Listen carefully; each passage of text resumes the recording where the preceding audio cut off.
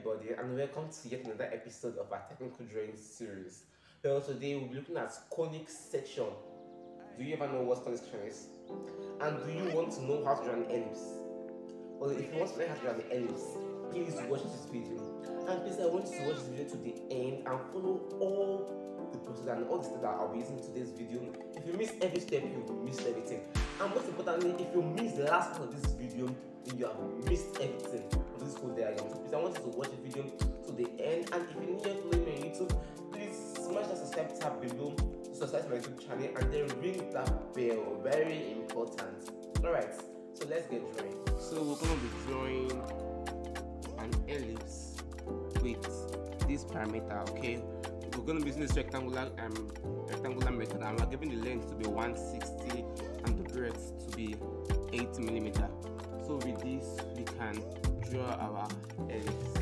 Okay, so the first thing we do is to draw a very straight line and the length of this straight line should be 160 millimeter.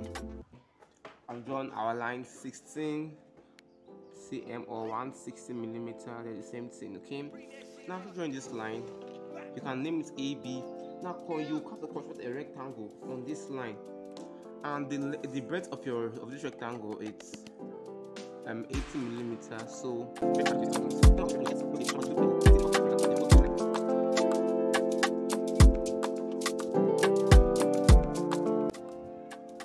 now after doing this next i'm going to do is to divide this part into two equal parts and divide the breadth too into two equal parts now this is 160 half of 160 should be 8 so this is 8 okay?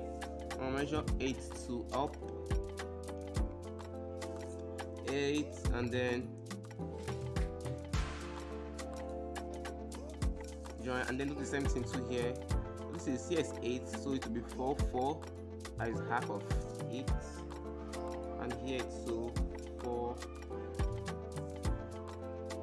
now having done that now here comes into our mathematical part of this um, diagram. By dividing this center line into eight equal parts and also dividing here too into eight equal parts. Now what do i mean?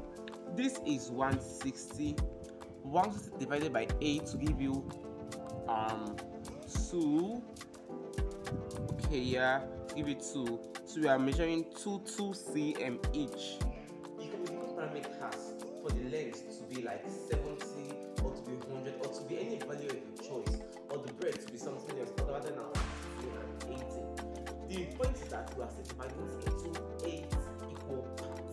So if you're given length to be 100 dividing 100 by 8 equal parts. If you're given breadth to be 25 or 30 it's divided into 8 equal parts it's a constant multiplication so please take parts so this is 1 2 3 4 5 6 7 and 8 okay. Now do the same thing. To here i'm dividing here into 8 equal parts. That is this is 8 so dividing into 8 equal parts is 1 1 each. Okay. Doing the same thing to here. 1 1 each. Can number it can number here 1 2 3 okay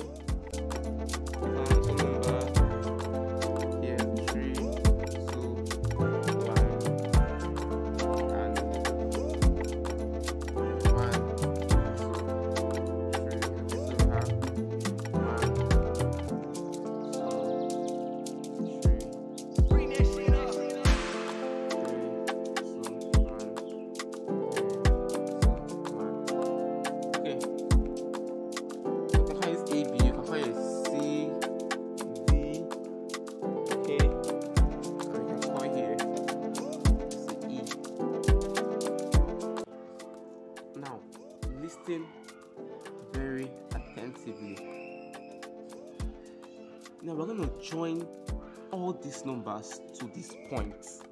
One, two, three. We're going to join them to this to F. That is this pivot. Here is called F. Okay. To the pivot. Join one, two, three, two to the pivot. now I'm going to join my lines.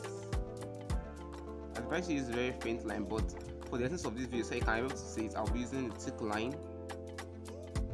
So I'm joining, okay, join all of them to this point.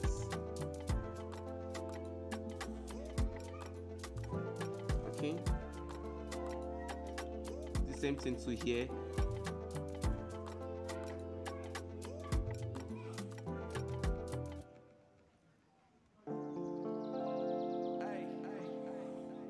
okay now likewise the same thing we are joining all these points to this last one.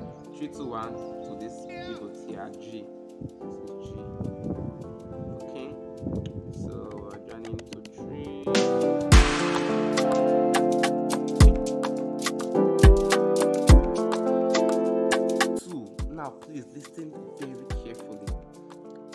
from f.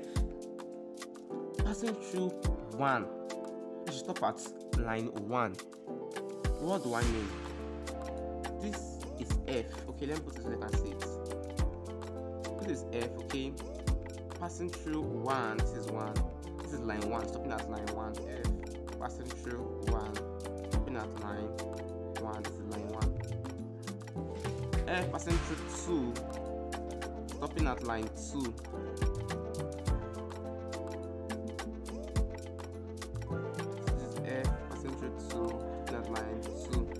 okay my f passing through 3 stopping at line 3 2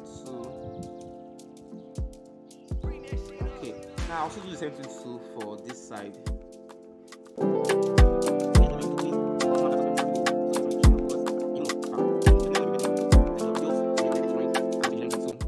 Okay so likewise the same thing to this part from this side. We're carrying them one person through one stopping at line one two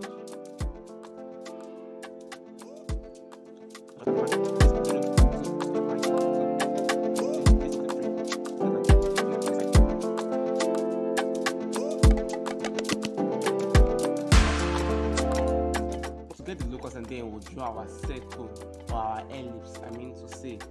Now starting from f now if you check it's top one where line one and line one one meets this line one and line one meets okay?